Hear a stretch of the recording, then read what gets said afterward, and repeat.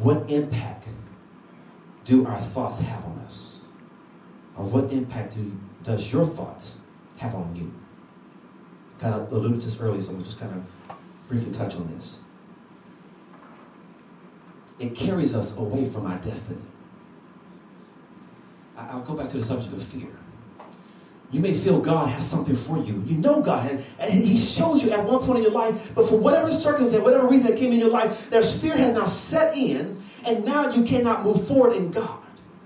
It impacts your, your, your, your private thoughts, impacts your ability to move forward in your destiny. Well, I can't do that. Well, I'm, I'm, i stutter, or, or, I don't, I don't look like the rest, or I don't, I don't preach with all the flowing things and all stuff like that. I don't have that eloquence. So you, your, your feel of, of inadequacy or your feeling of, of unworthiness prevent you from moving to God. These are thoughts in your mind that you got to begin to tame that you can move forward in your destiny with God. And also, another impact, it takes us off the plan of God.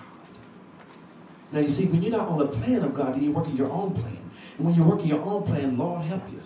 You might see some successes, you might make some progress, but lo and behold, before long, it's going to bring you down again because you're working your own plan. Because God said, "This is not what I. This is not a plan I have. I told you to go there, but you're staying here." But see, these thoughts that I have in my mind, how things are going to be, how things are going to be when I get there, I don't, I don't, I don't want to go there. I don't want to go back to that. These are thoughts that you have in your mind that's keeping you out of the plan of God. But God is saying, just look, tame these thoughts, get on my plan, and I'll have something for you on the other side. Fear false evidence appearing real. It ain't really what it is.